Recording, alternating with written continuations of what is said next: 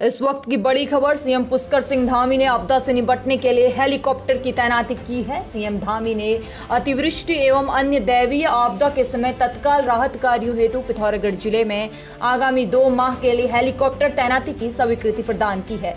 साथ ही निर्देश दिए हैं कि जब हेलीकॉप्टर की आपदा राहत कार्यों के लिए आवश्यकता न हो, तब उनका उपयोग रियायती दरों पर भुगतान के आधार पर जन सामान्य हेतु वैकल्पिक यातायात के रूप में किया जाए। तो इस वक्त की बड़ी खबर, सीएम धामी ने आपदा से निपटने के लिए हेलीकॉप्टर की तैनाती की है।